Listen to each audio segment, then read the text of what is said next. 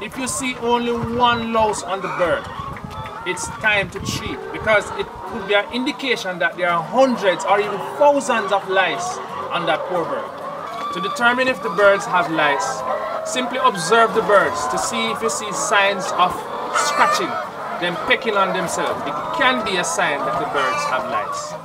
But to be certain if they have lice or not, is to hold a bird by its wings and lift the feathers, particularly on the legs. Once you lift the feathers, you observe to see if you can find lice on the bird's feathers. You can look on the shaft or on the skin to see the moving lice. So if you observe lice on your birds, treat with Ivomec, 2 milliliters per gallon of water, for drinking water. And you can also use Actellic, which is a insecticide, spray onto the birds, and that will also take care of the lice. So it's important to observe the birds. And you can also go to your farm store and they can tell you what they have available for lice infestation.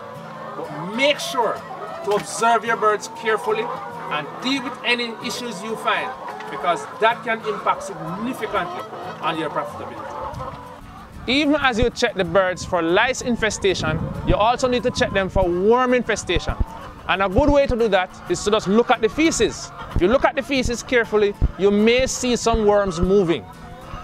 So to keep the birds free from worms, you need to have a good deworming program where the birds are dewormed every six to eight weeks.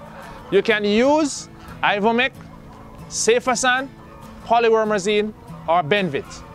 Use one this time, another the other time, and keep rotating them so that the worms do not develop an immunity to the drug that you use.